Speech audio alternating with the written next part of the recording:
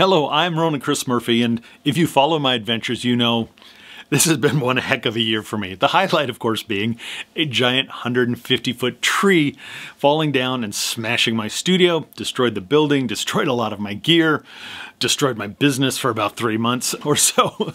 but overall, since that happened, the universe has been good to us. I've been uh, spending time at my home in Italy uh, and working out of this temporary studio here in California. And this place has worked out great. It's a comfy place uh, with some speaker placement and acoustic treatment and about 200 pounds of bass trapping. I actually got the room sounding really good and I've been able to do a bunch of work that I've uh, been really, really happy with. But this place was always intended to be temporary, so I've been on the lookout to either buy or rent a, a new place to build my studio. And uh, I, this came as a surprise to me, but I found a place and I found a place 3,000 miles or 5,000 kilometers away from here. So um, I bought a farm. So uh, I bought a farm in a place called the Berkshires of Western Massachusetts, so off on the East Coast. Uh, and I'm really, really excited about it.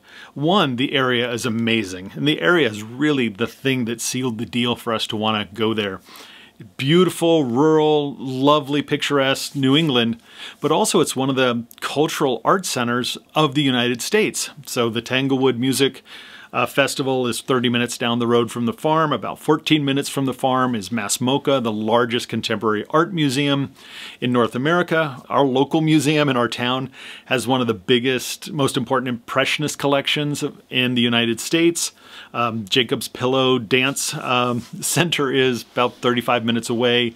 Uh, James Taylor lives about 30 minutes down the road. Um, Tony Maserati actually has a studio out in the Berkshires as well. Um, and other cool stuff like Wilco actually every two years produces a music festival um, in the next town over and Bang on a Can uh, does a residency every year. So there's a lot of stuff going on. But we loved the area and we found a really cool place that's going to allow us to develop the next generation of Veneto West Studio and the next generation of my recording bootcamp business. So we bought a farm. It's a, a really, really cool um, place. And actually, it's a farm that sits right on a golf course. And actually, this yellow arrow right here kind of shows you where the farm is. So pretty nice area. But we bought this great property that's got an old farmhouse about 150 years old and a couple barns and the barns are why we bought the property. So what we're going to be doing is renovating and developing this into the the new Veneto West studio, um, also the new home of Recording Bootcamp, as well as just kind of a general creative center for ourselves and our friends and clients we collaborate with. It's going to be a great space that's going to allow me to do mixing and mastering, etc. But also there's going to be enough enough space there that I'm, I'm going to finally have a good space for tracking when I want to keep things here in my own space as well. Even though, of course, anyone who follows me knows that I love to bounce around the world and work in lots of different places. But also on the educational part of what I do, uh, for the last several years, I haven't done really recording boot camps, my six day program in the United States. And the big reason is for my last studio, while a great, incredible sounding room for mixing and mastering, really wasn't set up well for small groups of people to come in and study with me. But this new place is actually going to have a lot of great opportunity. So I'm going to be able to start doing more of my in-person uh, training again and also for a lot of people on the East Coast who, where the West Coast or Italy has been not realistic, this will hopefully make things a lot easier for both kind of educational clients as well as production mixing and mastering folks. So uh, we're kind of out in the middle of nowhere, but we're actually only three hours from the center of New York City or New Jersey where two and a half, 240 to Boston, four hours to Montreal. So it's actually going to be a lot easier for me to connect and collaborate with a lot of folks on the East Coast where me having places in California and Europe wasn't as practical. The first order of business is going to be putting in phase one of the studio. And thankfully, the second story of a big part of the barn is already renovated. So uh, there's some things to do, some walls to take down and walls to build and things to put up. But that is going to go up fairly quickly. And so we're going to have the new studio up and running there, hopefully within March. Um, but a little farther down the road, we're also going to expand more of the barn into more studio space.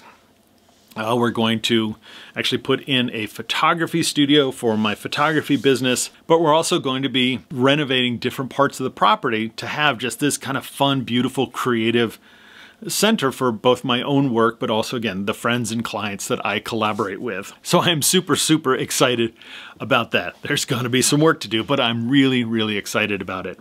And speaking of the work to do, one of the things that I'm hoping to do uh, is to make this video here video one of a studio build diary.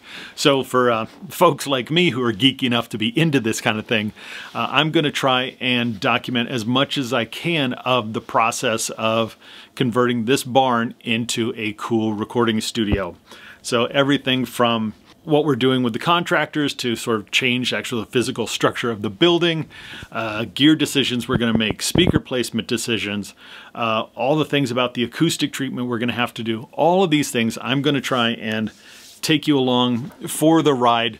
Uh, so if you're geeky enough to like that kind of stuff, like me, uh, uh, make sure you kind of do that uh, notifications bell and subscription and all that kind of business.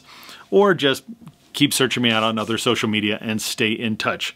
So um, the first these first couple months, it's going to be a little bit sparse. Um, I'm doing a lot of work in California, a few trips to Massachusetts to work with contractors on some things. But then hopefully in the first part of March is when we actually start moving the studio in and we get into a lot of the more geeky stuff. So uh, probably be kind of far and few between uh, for these studio diaries. Um, for this first month or two and then should get a lot busier. So again, if you dig that kind of stuff, um, I'm super excited about this journey and uh, if you think you might enjoy coming along for the ride, um, make sure you follow me any way that makes sense for you. All right, that's it for now. I got to get back to actually doing some of this California work I got to finish up before I start heading out to Massachusetts.